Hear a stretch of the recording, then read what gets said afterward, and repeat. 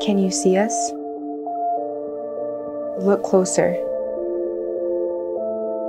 We are right in front of you. We are strong. We are courageous. We have been told we can't, but all that does is motivate us to prove that we can.